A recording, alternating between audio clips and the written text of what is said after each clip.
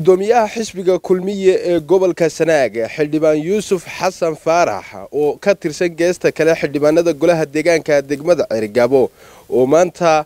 star t v kula hadlayay hotel cadami ee magaalada ceerigaabo ayaa ugu horreynbaa hambaliyeeyey islamarkaasina ku taageeray madaxweynaha somalilan wadahadalka uga socda soomaaliya iyo somalilan dalka jabuuti waxaana uu madaxweynaha somalilan ku bogaadiyey islamarkaasina ku hambaliyeeyey khudbadiisii uu ka jeediyey shirka ka socda dalka jabuuti ee labageesoodka waxaan maanta runtii halkan aan ka bogaadinayaa shirkii wadahadallada somalilan iyo soomaaliya uga qabsoomay dalka jabuuti oo runtii ahaa kulan loo baahan yahay muhiimaddiisa leh waxaan aada u hambalyeynayaa wafdidii ballaadhneed ee ka tagtay somalilan ee uu hogaaminayay madaxweynaha qaranka mudane muuse biixi cabdi iyo wafdidii la socotay guulaha la yaab kale ee runtii ay ka soo hooyeen shirkaa oo ay ugu muhiimsanayd inay soo bandhigaan qadiyaddii ay jamhuuriyadda somalilan ay lahayd lixdankii ilaa iyo maanta. Qarankani walaalayaal waa qaran madax bannaan oo madax bannaanidiisa markii horena ingiriiska ka qaatay soomaaliya kula midoobay ka bacdina kula soo noqday qori caaradii. Wax kaftan galana maaha wax beerlaxawsi galana maaha wax waano galana maaha waa wax qarankan waa loo soo halgamay dhiig badan baa u daatay hanti badan baa ku luntay muddo soddon sanno ayaan qarankani dhismayey. Isagoo isagu isku tashanayey oo aan adduunkana ka helin caawimadii loo baahnaa iyadoo ay sidaa tahay in maanta lagu junjuumo oo lagu khasbo in dowlad layahdo soomaaliya oo aynu maanta tamarteeda ognahay awooddeedana aynu ognahay ciidanka ajinabiga ilaaliya aynu ognaho ciidanka ajinabiga ayuunbay dowlad ku tahay. Laakiin qaranka somalilan waa qaran ciidankiisu ilaaliyo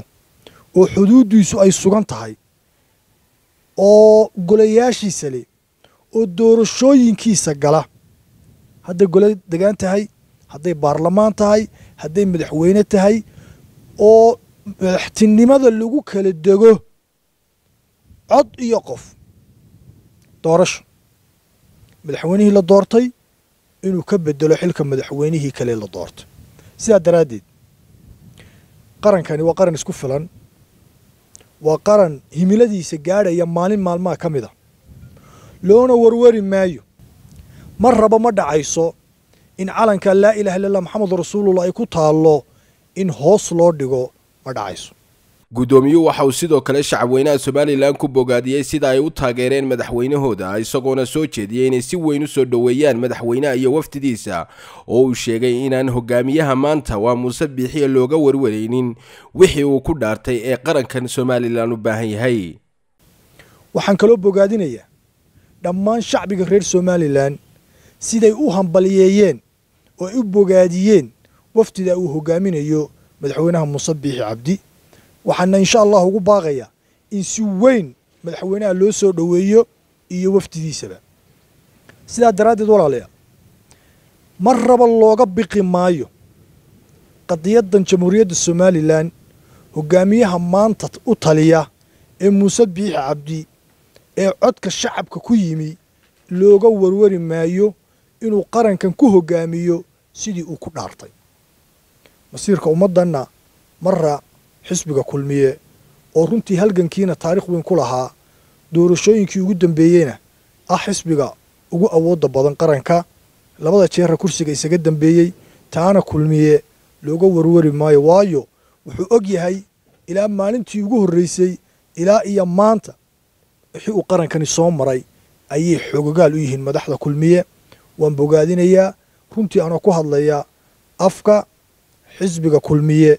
gobolka sanaag madaxweynaha waxaanu leenahay ilaahay waxaanu kaaga baryaynaa inaad ku guulaysato guulaha qarankani kuu igmaday aad kursiga ugu fadhido. Yuusuf xasan faarax guddoomiyaha xisbiga kulmiye ee gobolka sanaag oo hadalkiisa sii wata ayaa geesta kale wasiirka wasaaradda arrimaha gudaha iyo wafdida uu hogaaminayo ee nabadaynta u jooga degmada ceelaf weyn ee gobolka sanaag ku hambaliyeeyey islamarkaasina shacabka gobolka sanaag u soo jeediyey in ay ka taliyaan sidii ay u midoobi lahaayeen islamarkaasina khilaafaadka ku dhex jira ay isaga saari lahaayeen. Runtii gobolka sanaag baryahan dambe waxaa ku soo noqnoqonayey xoogaa amni xumaa waxaan ku bogaadinayaa wafdiduu hogaaminayo wasiirka arrimaha gudaha maxamed kaahin axmed ee muddada labada bilood ku dhow degmada gobolka sanaag u jooga. Sidii ay u afjari lahaayeen dhibaatooyinkaa yaryar ee soo noqnoqonaya ee maantana ay meel wanaagsan u marayso oo dadkii runtii berigii dhowood ku dhawaaqay jabhadduna ay soo hoydeen. Tii horena la soo hooyey. Haddeera nabadayntii beelaha dhexdooda wixii dhex maray ay u fadhiyaan oo gebagabadii ah taana wasiirka waanu ku bogaadinaynaa iyo wafdidiisaba sida sharafta leh iyo karaamada leh ee xilkasnimada leh runtii mudakarnimada leh ay arrintaa u guteen ay ugu dhabar adeegeen ilaa wakhtiga intaa leeg ay u joogeen iyagoo ujeeddadoodu tahay inay dadka isu jiidaan u caqli celiyaan wax u sheegaan la taliyaan oo arrintaasina ay tahay arrin mas'uuliyadeed. Ee aanay ahayn markaba in dadka ciidan la geliyo ee dadka cabashadooda la dhegaysto oo waxay ka tabanayaan la eego oo dabadeetan wixii wax laga qaban karoba laga qabto nabadgelyada runtii ceelaf weyn iyo gobolkaba laga qabtay ama laga shaqeeyey ama tacabka badan la geliyeyna aad iyo aad baan ugu bogaadinayaa shacbiga reer sanaagna. Waxaan ugu baaqayaa inay ilaashadaan nabadgelyada iyo midnimada iyo wadajirka iyo waxwada qabsigaba oo ay iska dhex saaraan khilaafka yaryar ee jira oo ay shaydaanka iska naaraan.